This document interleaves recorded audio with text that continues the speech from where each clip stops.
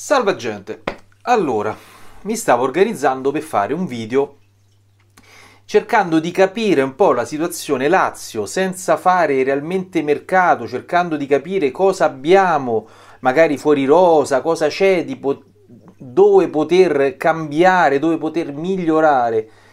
E, e niente, niente ragazzi, perché mentre stavo facendo questo e quindi mi stavo anche un attimo documentando perché poi ho perso anche eh, un po' di vista quello che c'è fuori rosa, quello che, che abbiamo in giro, mi ero riconcentrato su un nome che, che, per chi segue il canale, anzi tu che stai guardando, se non sei tra quelli iscritti, iscriviti, eh, vai sulla campanellina eh, così da rimanere aggiornato su tutti i contenuti, vatti a rivedere magari anche i vecchi video dove facevo un nome, un giocatore che ragazzi abbiamo in casa e che abbiamo tenuto per tutti questi mesi fuori rosa dopo che è venuto, ha fatto il ritiro due partite amichevoli di cui una giocata a metà e una intera ed è stato deciso di essere che è un giocatore che andava fuori rosa. Nonostante venisse da un campionato giocato benissimo con bei gol e sto parlando di Keane.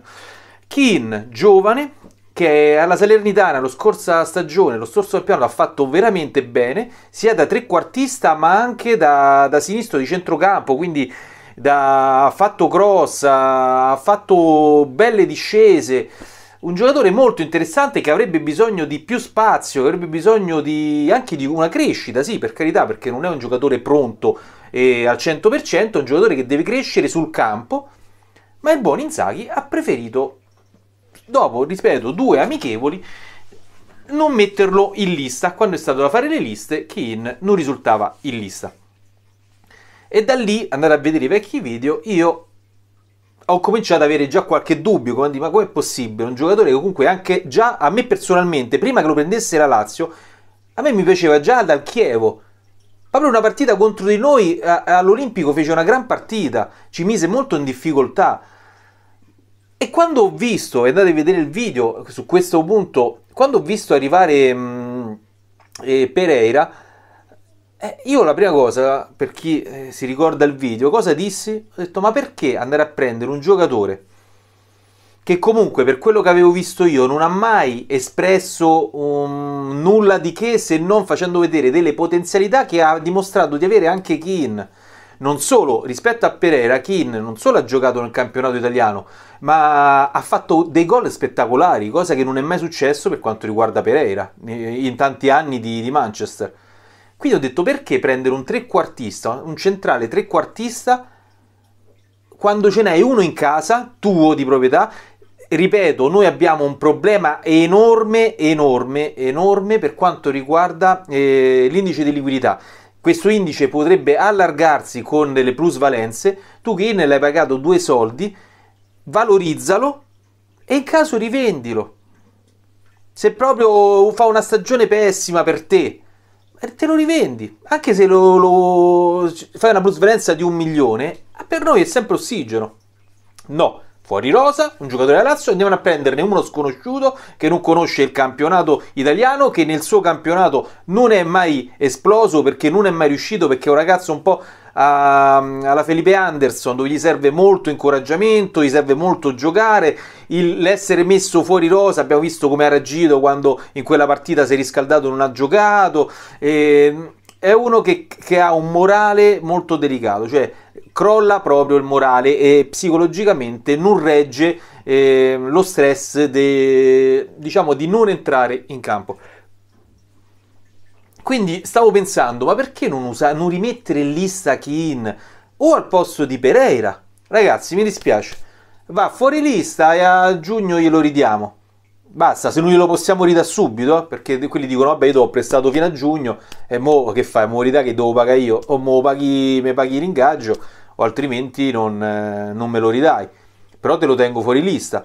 O altrimenti, ancora, diciamo, forse una cosa più azzardata, visto che comunque con la Salernitana ha fatto anche il ruolo di centrale di sinistra discretamente, quindi portando dei cross interessanti, ma perché non metterlo da fare? Cioè tu hai preso un giocatore che non sta rendendo, che ci sta dando più problemi per cercare di dargli spazio quando in realtà non abbiamo la possibilità di dare spazio a chi poi il ruolo non lo, non lo copre come lo deve coprire, perché ieri Acerbi si è dovuto fare tutta la fascia fino in fondo perché se dava palla a, a Fares era una palla persa, perché non mettere fuori rosa Fares e, dirgli oppure, oppure dire a Fares guarda ti mando a Salerno alla Salernitana per sei mesi fino a giugno. Mi giochi lì. Giocami lì rientrami in forma e poi ritorni a giugno e ne riparliamo della cosa. Oh, oppure fuori, se vuoi stai fuori rosa o altrimenti scegli un'altra destinazione per sei mesi in prestito gratuito. E io mi gioco Kin no un giocatore nostro di nostra proprietà. Lo rimandiamo a Salerno. Io adesso sono curioso di vedere a Salerno cosa fa Kin calcolando che il povero ragazzo è stato, ha fatto gli allenamenti in disparte per sei mesi e per sei mesi non ha visto un campo da calcio, proprio con una partita ufficiale. Quindi dovrà un pochettino riprendere, ma io sono curioso di vedere quello che farà Keane, perché per me è assurdo che abbiamo dei giocatori potenzialmente validi che possono eh, mostrare un, delle qualità che hanno già dimostrato, quindi non è che prendi una scatola chiusa, tu prendi un giocatore che a Salerno ha già dimostrato di, di, che, colpi, che colpi li ha. Come del resto tu stai aspettando questo Pereira che ogni tanto nel Manchester vagamente ogni tanto un colpo l'ha fatto. La stessa cosa, ma molto di più l'ha fatto Keane qui in questo campionato e anche nel campionato di Serie B che non è per niente facile. Ha fatto gol, ha, ha coperto la fascia, ha fatto il trequartista a te ti serve uno che, che, faccia trequartista, che stia avanti, che stia sulla fascia? Questo è Keane, lo hai in casa. E tu che hai fatto? Adesso a gennaio, subito, velocemente, me l'hai dato alla Salernitana. Perché non, proprio minimamente l'idea di poter dar via Fares per farlo giocare da un'altra parte, visto che noi non abbiamo più il tempo da aspettarlo, o minimamente di levare Pereira, che tanto visto che anche ha delle clausole anche che tu dovresti andare anche a pagare se gioca un tot minutaggio. E tu anche per questo gli stai dando lo, i minutaggi col contagocce perché vuoi risparmiare anche quei due soldi da contratto. Non per riscattarlo, proprio perché scattano delle che se lo usi tanto loro vogliono dei soldi già adesso e tu questi soldi non li vuoi dare il riscatto non, non, avverrà mai a 27 milioni, parliamo perché è un giocatore che vale queste cifre, ma anche se si parla di, di uno sconto di 10 milioni, quindi a 17 milioni, non è un giocatore che vale 17 milioni. Perché io vado a prendere il fratello di Miranchuk, che, che giocavano insieme, poi lì al... A, allo, come si chiama? Locomotive Mosca hanno preso quelli dell'Atalanta quello che dicono essere leggermente più bravo, ma l'altro non è che, che fa schifo. L'altro si potrebbe prendere benissimo, che è un bel giocatore per fare ovviamente il secondo di Luis Alberto. Visto che tutti parlano, oh, l'Atalanta, l'ha visto l'Atalanta, visto l'Atalanta, muoviti come si muove l'Atalanta. L'Atalanta ha preso Miranchuk per fare il secondo di Ilicic, il secondo di tanti giocatori. 15 milioni per prendere un secondo e tu, non, e tu, invece che prendi un Pereira sconosciuto in un campionato sconosciuto che Inzaghi sta usando anche in un ruolo non suo, perché doveva essere il vice di Luis Alberto e sta facendo invece il vice di, di Correa.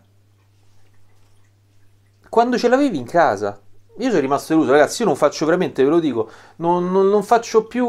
Mi cascano le braccia. Non faccio più video per quanto riguarda il mercato, riparazioni e cose. Tanto questi non ci capiscono un cazzo, ve lo dico, non ci capiscono veramente un cazzo. Hanno i giocatori in mano, non li sanno usare e la colpa, molta della colpa la do anche a Inzaghi. Questo è l'ennesimo video dove la colpa la do a Inzaghi perché i giocatori in mano qualcosa ha ma non utilizza un cazzo, non gli viene in mente di fare un nessun cambiamento, non ha le palle, non ha le palle e non è in grado di fare i cambi durante la partita, sia per tempi e sia per scelte. Veramente, veramente. Mi avete fatto due coglioni così con questo Inzaghi che è il re dei, dei, dei cosi. Solamente perché è laziale. Perché se, de, se non era laziale, se veniva da, da, da un'altra città, se veniva giù, da, giù dalla Campania sono sicuro che non, non stavate a romper cazzo con questo Inzaghi, no Inzaghi, è solamente perché è una vita che sta la Lazio e perché ama la Lazio, il che è lodevole, ma noi, a me me ne sbatto il cazzo de, del fatto di averci un allenatore che, che, comunque non è in grado di valorizzare eh, quello che ha, se non quelli che, che ufficialmente sono già dei, dei, bravi giocatori.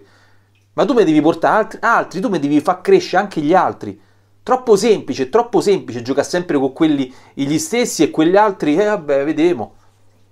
Non essere in grado di capire chi, chi, va sostituito, non essere in grado di capire quando va sostituito, non essere in grado di capire che esistono altri moduli quando non c'è i giocatori. Quando non c'avevamo i terzini abbiamo messo Parolo sulla destra e ha fatto disastri piuttosto che cambia modulo.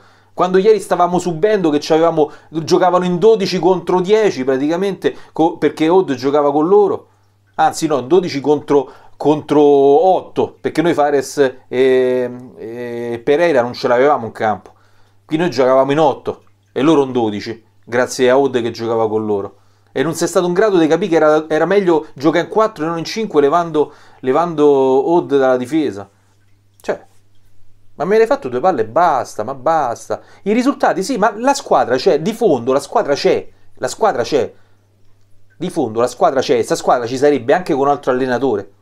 Aprite gli occhi, anche con un altro allenatore ci sarebbero questi giocatori, perché giocatori di qualità possono rendere, se messi in condizioni di rendere. Il problema è che bisogna vedere se effettivamente il 3-5-2 sempre e comunque è, la, è, quello che rende di più. Per questo voglio vedere un altro allenatore, perché voglio vedere altri schemi, altre, altre situazioni di gioco dove voglio vedere se questi giocatori re- possono rendere di più. E io sono convinto di sì. E il non utilizzare i Vavro, gli Armini, i Moro, i Kin, tutta sta gente qua, e poi lamentarsi che non hai giocatori, sono cazzi tuoi, sono problemi tuoi, perché sei tu che hai scelto Odd. Sei tu che hai voluto Odd alla squadra. L'hai avuto la riconferma. Sei tu che hai mandato via Bastos e te sei tenuto Patrick. Ragazzi, vabbè. Insomma, volevo fare un video, ripeto, dove c'erano gli ennesimi consigli che davo, ma mi sono reso. Che cazzo puoi consigliare a questi? Che, che, che gli nomini Kenny Lala che sta in uscita, che, che con 3 milioni, 2-3 milioni te lo porti via e rimetti a posto una parte, vuoi fare il 3-5-2? Allora fate comprare i giocatori per fare il 3-5-2 con le fasce, invece no, no. Famo il 3-5-2 da 4 anni e facciamo sempre le seghe su, su dell'Amando, cazzo. Cioè, ma tu, voi vi rendete conto? Cioè noi abbiamo un 3-5-2 da 4 anni, non ci scodiamo da lì e noi andiamo a prendere i Durmisi, Ioni, i Fares. De là c'è solo Lazzari, al massimo facciamo Patrick o Marusic. E volevamo fare ancora il 3-5-2. Cioè, io boh.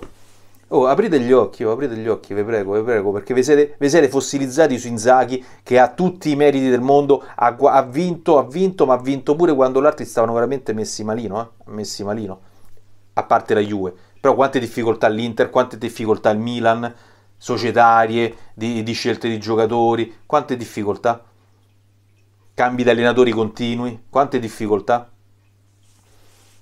senza togliere tutti i meriti, tutti i meriti che c'è Inzaghi. Inzaghi ha tantissimi meriti, però arrivi a un certo punto che vuoi vedere anche altro. Io sono uno di quelli che voglio vedere anche altro, a rischio di vedere peggio, ma voglio vedere se esiste altre alternative, almeno che Inzaghi non torni ad essere l'Inzaghi del primo anno dove sperimentava anche altre, altre formule.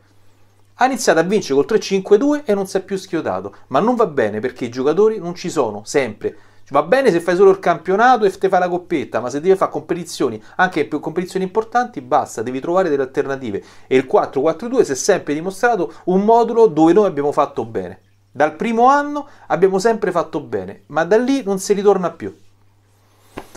Ok ragazzi, dai, ci rivediamo con un altro video, pure questo è stato un altro piccolo sfogo. Ripeto, non parlerò più di mercato se non una cosa ufficiale, cioè se arriva qualcuno allora ne riparlo, altrimenti basta, mi arrendo, perché tanto questi dei giocatori che ci hanno in mano non, non sanno che cazzo faccio. C'hanno, perché eh, Immobile c'è il paraocchi, sì, Immobile, Inzaghi c'è il paraocchi e, e Tare invece c'ha, c'ha, proprio il radar su, solamente sulle zone di Kosovo, Albania, cose. Cioè in Olanda lui non trova un cazzo, in Danimarca non trova niente, in Russia non trova niente, in Belgio non trova niente. Cioè, quelle sono so veramente fucine de, de... e vivai ricchi dei de talenti. Lì non troviamo un cazzo, forse perché costano troppo, a purciari de merda.